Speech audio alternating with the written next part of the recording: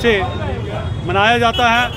मैं आपको बताऊँ कि ड्यूटी प्रशासन जब रहा तो उन्होंने काफ़ी इनिशिएटिव जो है शहीदों के लिए लिया। उन्होंने स्कूलों के नाम बनाए, रोडों के नाम बनाए रेलवे स्टेशन का नाम उन्होंने शहीदों के नाम पे दिया।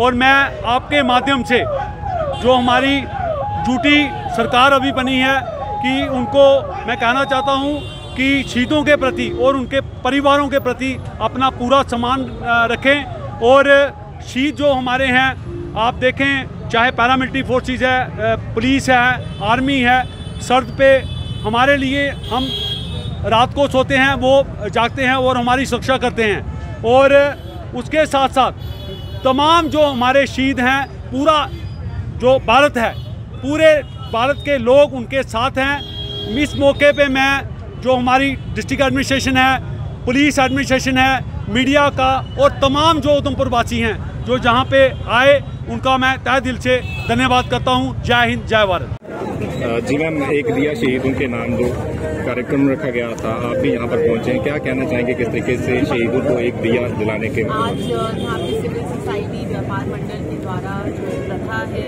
इसमें एक दिया शहीदों के नाम यहाँ जलाया जाता है प्रथा के आज यहाँ पे सभी सिविल एडमिनिस्ट्रेशन के ऑफिसर्स और पुलिस के ऑफिसर्स और सिविल सोसाइटी के सभी लोग आज यहाँ पे इकट्ठा हुए हैं और आज हमने एक दिया शहीदों के नाम चलाया है और हमारे जो भी मार्टियर्स हैं, उनकी शहादत को सम्मान देते आज यहाँ पे दिया जलाया है।